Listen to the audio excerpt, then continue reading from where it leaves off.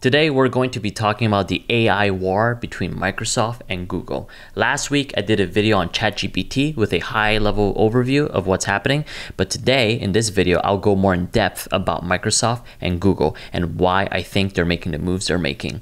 All right, before I go deep, let's go through a quick news recap that's relevant to today's video.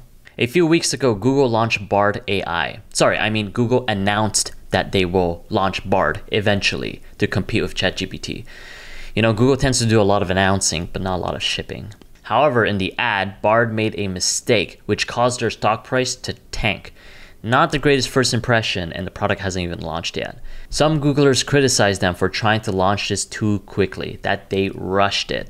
Not only did they make a mistake in the ad, during a demo in Paris, they weren't able to do the demo because they forgot their phone they were going to use to show off one of Bard's features. Look at this clip. Let's see how that works with a live demo. We are missing the we're missing the phone.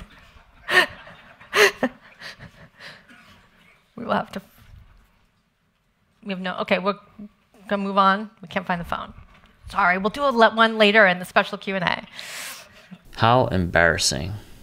The day after the announcement, Microsoft responded by releasing a new Bing with ChatGPT built in to compete with Google's search. For context, Google basically has a monopoly on search with 93% of all search volumes. Currently, the 3% Bing searches are probably from people with new computers using Microsoft Edge to search Google to get to google.com. You know, I was initially joking, but it turns out it's actually true from this article saying that Google is the most searched word on Bing. But jokes aside, Google needs to take this threat seriously because it is not just about search, it's about the AI war, and this is just one of many battles. For Microsoft, Bing is just another product because Microsoft's revenue is very diversified. If Microsoft was a YouTuber, it would look like this. Hey, Microsoft here. Today I'm going to show you how I built 12 income streams in my 20s. Don't forget to smash that like button and turn your default search to Bing. It really helps with the algorithm. All right, let's get to it. For Google, search is their lifeblood. In this situation, it's easier to attack than to defend your market share, since Bing can take more risk and ship faster because it has nothing to lose. And by that, I mean it has no users to lose. While Google has to move slower not to risk its reputation and lose their search users, which is their main source of revenue. Not only is Microsoft competing in search, it's also competing in web browsers by revamping Microsoft Edge by integrating OpenAI's tech into it. They call it your personal copilot of the web. Sounds familiar? GitHub Copilot helps you get your ideas into code faster. A web browser copilot will help you read web pages faster with AI summarization, draft emails faster with AI generation, and bully people on Twitter faster with AI suggested insults. This is their vision of what the next era of the internet will look like an internet browsing experience personalized and assisted with AI, and whoever gets there faster wins the AI war. To explain this AI war, here's an analogy. It's like a chess game between Team Microsoft and Team Google. The goal is simple the kings have to survive. Microsoft and Google are the kings because they have lots of money and fat, they move slowly, and their only goal in life is to not die. If you've ever worked at a big tech company, you'd know that things move very slowly because it's filled with processes, extensive reviews, and unproductive employees like I was. So they can't move as fast as a startup. That's why, in order for big tech to survive, they need to acquire or invest in startups to hedge against new tech that can potentially disrupt them and cause them to fall behind. Which is why Microsoft partnered with AI startup OpenAI and Google acquired DeepMind and also invested in Anthropic. These companies are the queens, not because they're fabulous, but because they can move really fast and make breakthroughs in AI. The king relies on the queen to make strong moves and win this war, but she needs money, which is what the king is able to supply. But I ain't saying she's a gold digger, but she ain't messing with no broke tech company. The king is also able to supply an army of products and apps for the queen. Those are the pawns, and each of them are in a proxy battle against each other, like ChatGPT against Bard and Bing against Google Search. Winning these battles is important because your pawns can get promoted into stronger pieces, like a rook. And by that, I mean you dominate in one vertical and you start snowballing. To illustrate, let's say your product is used by more users. So you get more data. And since you have more data, you can fine tune your model better so your product gets better. And since your product is better, then you're going to keep getting more users. It's a winner takes all market. And once this flywheel starts, it's hard to compete because you have proprietary user data and a well trained model creating this barrier of entry that gets thicker and thicker for newcomers. That in turn will feed into your queen to help its research to reach more AI breakthroughs, which will further feed into your suite of products. To summarize, the king gives the queen money and an army of products. The queen backs up the products with the latest AI tech. The pawns will give user data back to the queen so that the queen can improve the AI. The pawns also give revenue back to the king so that the king can reinvest in itself. Now, the advancement of the pawns is key to winning this war. Hence, winning these proxy battles is helpful for winning the real battle, which is who can achieve more algorithmic breakthroughs in AI, or even reach AGI, Artificial General Intelligence. If that happens, all the pawns will become queens and you'll win the war. Or the queen will just revolt and kill their kings, and actually kill all their pawns too, and the chessboard, and me singularity. Anyways, in tech, there's no such thing as too big to fail. In fact, you're more at risk when you've grown too big. Even small decisions start to take forever to get the company aligned and execute on them. So, one solution is to acquire these startups and slowly move into a desired location for the company. That's why you see big tech companies constantly acquiring startups to hedge against their downfall, like Facebook buying Instagram for $1 billion to solidify their lead in social media, Amazon acquiring Whole Foods to solidify their lead in delivering everything to you so you never need to leave your house. Right now, the biggest threat to these big tech companies is falling behind in AI.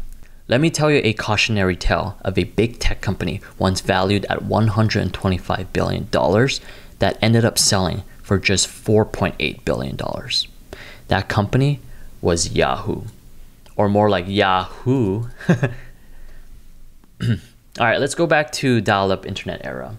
The time when, if you were connected to the internet, you couldn't use your phone at home. Remember this sick ass tune? Back in 1995, Yahoo was a beast. At first, it was just a web directory of other websites, organized in a hierarchy. That's how we used to organize the web. Then, Yahoo also became the main search engine people use. It was called Yahoo Search. Back then, people used to go to these web portals as their first destination on the internet, and Yahoo was one of them. A web portal was a site that internet users relied on for everything from searching the web, sending emails, and reading the news and Yahoo dominated with Yahoo Search, Yahoo Mail, and Yahoo News. If you own the entry point of the internet, you control the internet. And Yahoo was the biggest web portal, beating out AOL and MSN. Yahoo was basically the Google of the early 2000s. Speaking of Google, in 1998, Google actually approached Yahoo to sell their companies for $1 million. But back then, Google didn't have any users. It was only their PageRank algorithm. So Yahoo refused. Also, the way Yahoo search worked is it would search its own Yahoo directories. Yahoo basically handpicked all the content you need on the internet organized on their site. Implementing Google search would actually get users off the platform and into other websites, which Yahoo didn't want. Yahoo wanted users to just stay on their platform. They wanted to be the whole internet. But the internet grew and the landscape was changing. You couldn't expect people to get everything you need on one platform. Google over the years slowly crept up and became one of the top four websites by monthly visits, since it was useful by showing relevant search results. They were also insanely profitable because of their ad model. Very soon, Google gained the majority of the search market share. Yahoo realizes his mistake and tries to buy Google for $3 billion. But Google said, no, we want $5 billion. And then Yahoo said, no. Idiot. And that's the beginning of their downfall. Tech moves fast, user behavior changes, and the digital landscape evolves. The way people interact with the internet in the early 2000s is way different than in the late 2000s. Google became the internet's entry point. Who knew search would be so important?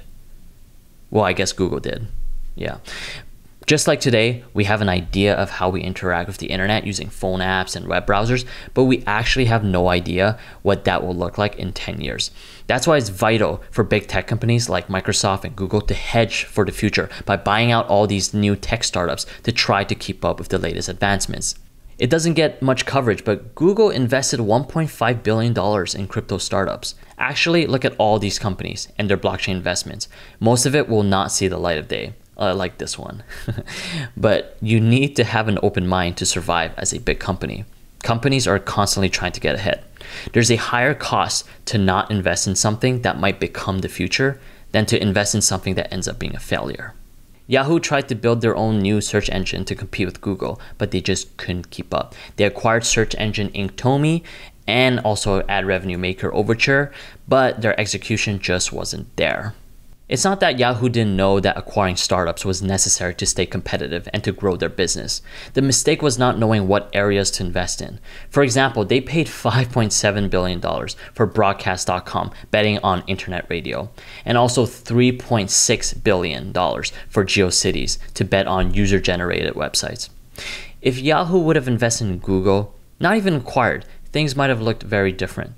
If Yahoo knew that search was going to be such a big deal, a game changer to the internet, they would have been more proactive in acquiring Google. But hindsight is 2020. The story of Yahoo continues with a string of desperate pivots and changes in leadership, and finally ends with Yahoo selling to Verizon for a measly $4.48 billion.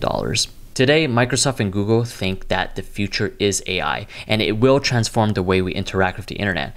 That's why they're trying to move fast on this and even rushing things. With ChatGPT getting so much adoption, Google's reputational risk no longer outweighs the risk of falling behind, which is why they rushed to release Bard. It's almost a life or death situation, which brings us back to the AI war. Here's the state of the war right now. ChatGPT is way ahead of Bard which didn't even launch yet. But I think this battle is more theatrical, more for brand awareness, since I don't see people using ChatGPT much if AI will soon be integrated in products that we use daily, like search or web browsers. Bing is behind in users, but that allows it to move fast. Google is super care with search since it's their flagship moneymaker. Now, OpenAI is well funded with $10 billion of Microsoft money and has momentum and is winning the public attention. Google has the advantage of its big existing user base. They dominate in terms of market share for search and their Chrome web browser. GitHub Copilot, in my opinion, has already won the coding vertical, so it's no longer a pawn, it's a rook now. I would say Google is not looking so good right now. There is a real risk of losing this race, which would render a lot of Google's products irrelevant. But I'm still cheering for them since they gave me this free hat. Google is trying really hard to not let history repeat itself, where this time Google is in Yahoo's position. Now they've proven that they can dethrone the king, but now let's see if they can defend it. All right, so that's it for today. Thanks for watching, and I'll see you in the next video.